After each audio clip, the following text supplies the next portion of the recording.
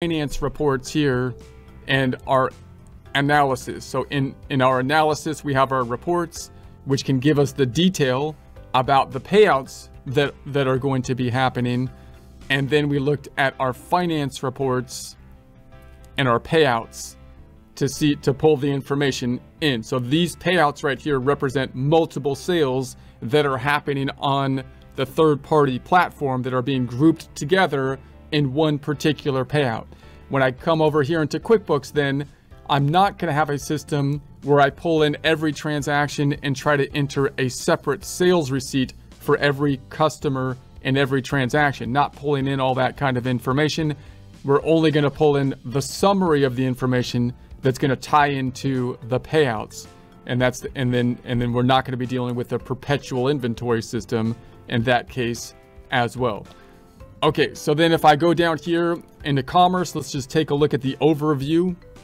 We've got three tabs up top. I'll close the hamburger, overview, and then the orders, and then the payments.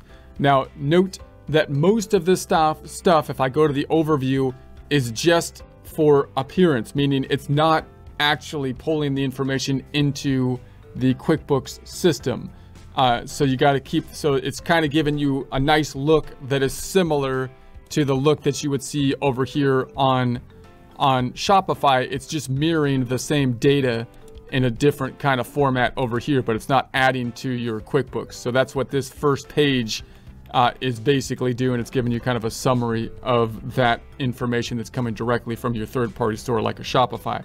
Then you have your channels over here. So here's the channel. Now, some people could have, of course, Shopify and Amazon and multi and eBay, and you might have multiple eBays and Amazons and whatnot. So then you would list out the different channels uh, would be listed on the right hand side. We've just got the Shopify. If you wanted to connect a sales channel, then you can go into the connect button up top and you can connect multiple sales channels. The number of sales channels that you can connect you know, could be limited to the subscription uh, that you have. And then you've got this, will, which will take you a shortcut to the transactions and the profit and loss, and you can take a look at some tips on down below.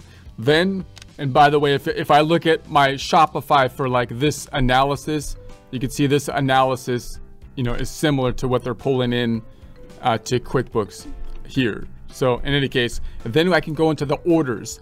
Now the orders once again, are not actually the things that are going to be posted to our system. This is mirroring the orders that are over here that are just pulling in each individual order.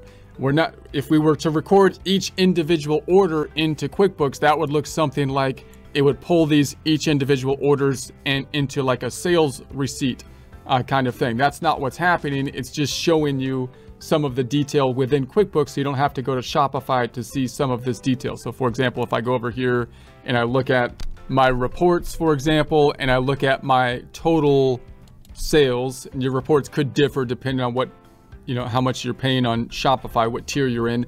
But here's, you know, each of my uh, transactions, the individual purchases that took place that are pulling in here, uh, 1001, 1002, 1003, and so on for those individual items.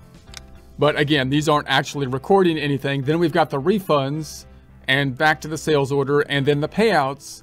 So these are the payouts that are actually happening. So this gives you a, a summary of the payout. The payout represents the money that's coming out of uh, Shopify and is going to eventually hit our bank account. So we expect the payout to eventually go into our checking account. That's going to be the idea. So for example, if I go to the Shopify store and look at my payouts, here's that 715 uh, of the payout. Here's the 715 here. If I want to see the detail of that payout, it's pulling in the detail to help make the journal entry. And just like what we did over here with our with our journal entry when we had like the two you know, the, the, the, the components of the journal entry that we pulled in from Shopify, it's doing the same thing here. We've got the sales side of things. Here's going to be the transactions that are included in that particular payout. And then we have the expenses side of things. And this is showing uh, the Shopify expenses. So that's similar to what we had over here when we looked at uh, the two the two reports that are going to be in play here. If you go into your analytics in like a Shopify and take a look at the reports and we look at the total sales report, then I don't think it's including that dollar right there. So here's the you know the gross sales, the net sales, and the shipping and so on. And then this, uh, it's really not including that one dollar right there. So it comes to 870 uh, 870 is is this amount right here. And then uh, if I go back on over here and I go to my payouts which is in the finance and the payouts then we can see that all of the all, all of those transactions are included in this payout. And then they charged a fee for the payout fee which is you know the the fee for them to to do the financing of it or to facilitate the transaction and that comes out to that 155. So those are the two sides that, they, that QuickBooks nice and neatly pulls into this little review uh, item here. So you can see it there, which is nice, but this still isn't posting anything. So then uh, if I want to, you, you have uh, transactions to review. If I go into those transactions, if I say go to those transactions, they then I they took me up here from the commerce tab up to the banking tab. Now in the banking tab, we have our bank feeds, which we connected to the bank. So we expect that $7 to eventually hit the checking account. We would we would see that uh, that amount that we were talking about, 715, I think it was, hit the checking account. It would be in here.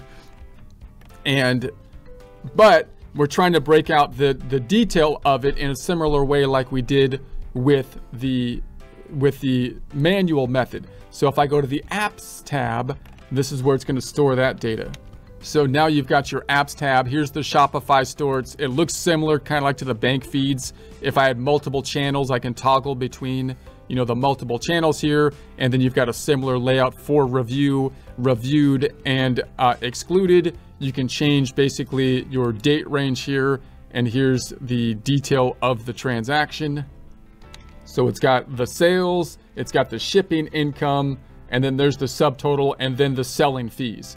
So you can see this lump sum is going to be the 715 that's going into our checking account, but it's breaking that information out basically kind of with a journal entry format here, not in the bank feeds, but in in the app transaction. I can uh, go to more of the detail here. Let's take a look at it in this case. And this takes us back to that detail page that we looked at before to give us the actual sales that took place and the expenses. Now, before I record this, let's just take a look at how we can adjust the mapping if we if we want to see what it's going to do when we when we actually record this item. So let's go back down to the commerce tab and I'm going to close the hamburger and I'm going to go to the to the overview and each one of these uh, channels is going to have a drop down up top. So if I hit the drop down, I can go into the settings. So let's take a look at the settings.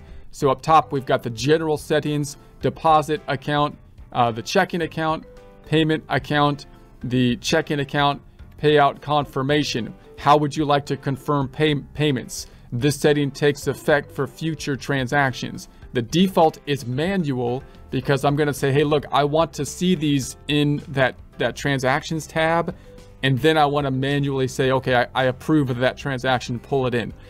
It's probably recommended to do that for a while until you get to the point that you are comfortable and then you can automate the transaction because like with the bank feeds, nothing's really affected